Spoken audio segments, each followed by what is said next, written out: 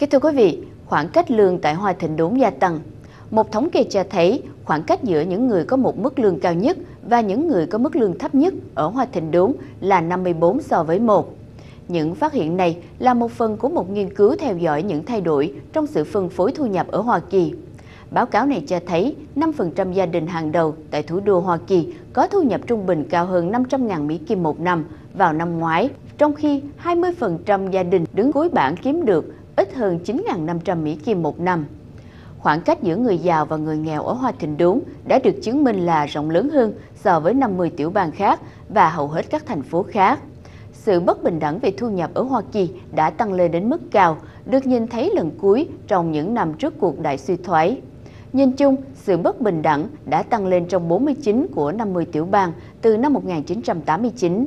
Tỷ lệ nghèo đói đã gia tăng ở 43 tiểu bang, mạnh nhất là trong tiểu bang Nevada, nơi đã bị tàn phá bởi cuộc khủng hoảng nhà ở, và ở Indiana, nơi đã có một sự gia tăng các công việc làm với mức lương thấp.